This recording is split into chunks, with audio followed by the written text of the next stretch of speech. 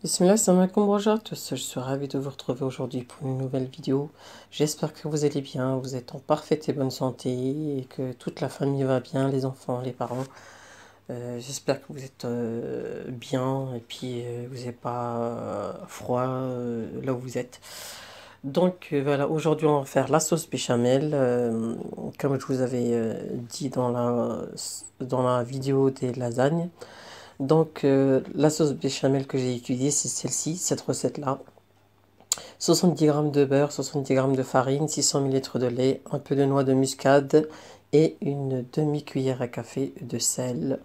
Donc après, avec le sel, vous pourrez goûter pour voir si ça vous va ou pas. Donc euh, voilà. Donc euh, on fait fondre d'abord le beurre, bien sûr tout ça à feu doux. Hein. donc en feu moyen, on va dire moyen, mais il faudra arriver à sûr. Si vous voyez que vous n'y arrivez pas trop, euh, baisser le, feu. Donc on va faire fondre le, beurre euh, et ensuite après on va rajouter le, la farine tamisée bien sûr par la suite. Et puis on n'arrête pas de, euh, de touiller hein, donc, avec la cuillère en bois.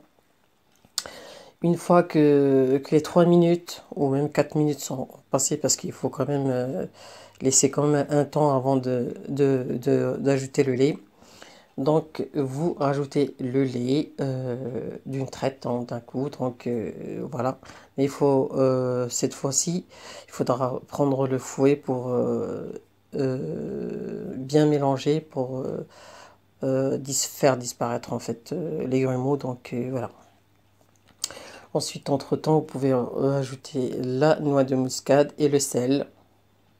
Et puis après, ben, on va attendre. Et puis, euh, euh, si, vous avez, si vous étiez à feu euh, doux avant, il faudra augmenter un petit peu la chaleur en tant que feu moyen.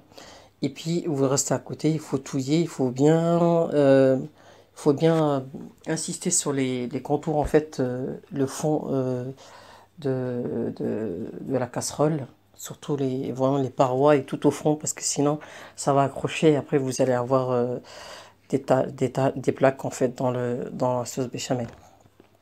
Une fois que vous avez vu qu'il y a des bulles qui sortent, donc après vous, vous sortez votre sauce béchamel du feu et puis après bah, vous, vous assaisonnez comme vous voulez. Donc moi j'ai rajouté un petit peu de, noix de muscade mais c'était juste pour euh, la vidéo donc euh, c'était pour l'image donc voilà.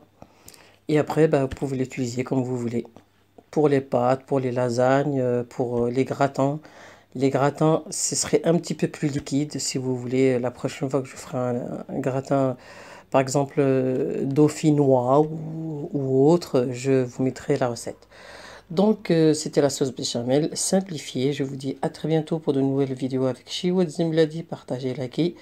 Bon après-midi. Salam alaikum.